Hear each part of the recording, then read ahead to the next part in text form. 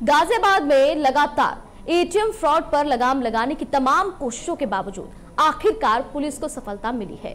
Police ने ATM fraud करने वाले चार शातिर बदमाशों को गिरफ़्तार कर लिया। देखिए रिपोर्ट।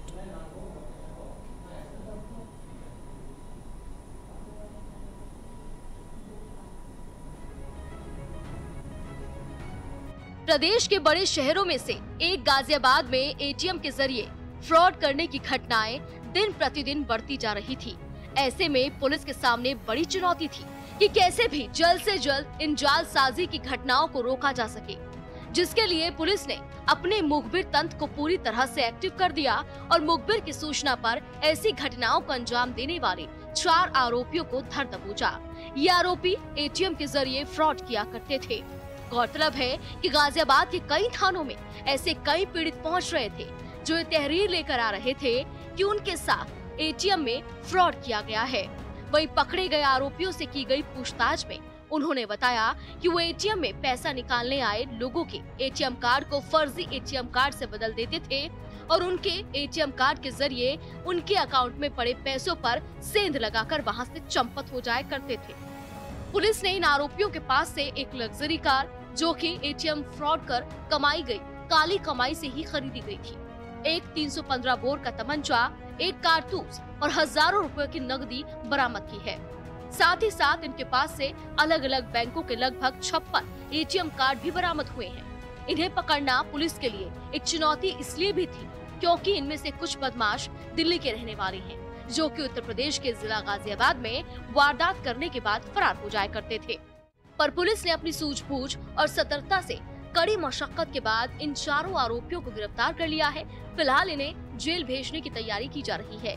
इस मामले में हमारे संवाददाता जितेंद्र भाटी ने क्षेत्राधिकारी इंदिरापुरम, अभय कुमार मिश्रा से खास बातचीत भी की है। सुनिए, क्या कुछ कहना है उनका? गाजियाबाद के कोशाम्बी थानी पुलिस ने चार ऐसे आरोपियों को गिरफ़्तार किया है जो कि एटीएम से फ्रॉड किया करते थे।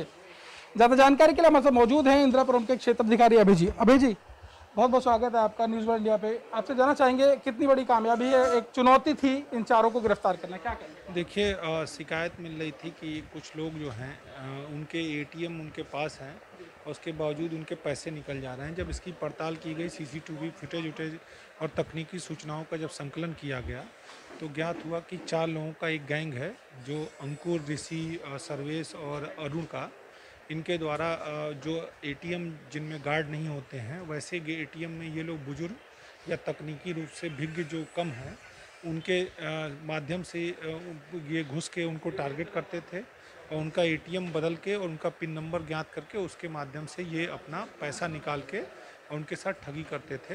इन चार लोगों को पकड़ने में कौशाम्बी पुलिस को अभी सफलता मिली सर, लग्जरी गाड़ी भी बरामद की गई है।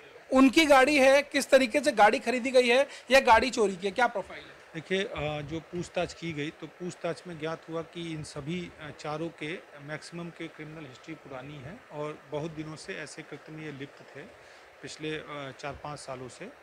उसी में ज्ञात हुआ कि अरुण कुमार के नाम से ये इको स्पोर्ट्स है जो उसके द्वारा इन्हीं इसी तरीके के फ्रॉड करके ये गाड़ी खरीदी गई सर एक पैसा होता है बड़ी मेहनत से कमाया जाता है क्योंकि कोविड का दौर है वैसे ही लोग बहुत परेशान हैं और इस तरीके से एटीएम के द्वारा लुट जाना।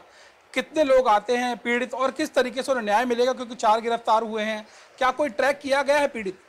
देखिए एक तो हमारे पास पहले से सूचना थी, जो बरामदगी है, उसी में उनके साथ ठगी हुई थी, उनके एटीएम बदल के।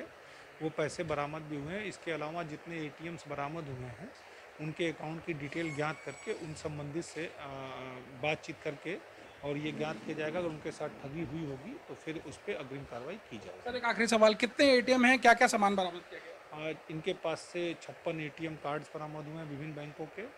साथ में अट्ठारह हज़ार के लगभग रुपए बरामद हुए हैं। एक गाड़ी बरामद हुई है और साथ में इनके पास से तमंचा भी बरामद सर बस ये और बता दीजिए कि चारों जो चार थे कहाँ से आते थे? क्योंकि गाजियाबाद पुलिस ने गिरफ़्तार किया है एक बड़ी चुनौती रहती है। गाजियाबाद यानी उत्तर प्रदेश की सीमा में अपराध होता है और दिल्ली की तरफ़ बदमाश भाग जाते हैं। तो ऐसे में कितनी बड़ी चुनौती थी? ये लोग कहाँ के हैं? देखिए इसमें से जो चार लोग हैं उनमें से कुछ लोनी छत में रहते थे कुछ खोड़ा में रहते थे और कुछ दिल्ली में रहते थे। इन लोगों का एक पुराना गैंग था, पहले से ही ऑपरेट कर रहे थे। इन लोगों को सम्मिलित रूप से पकड़ने में कौसामी पुलिस को सफलता मिली।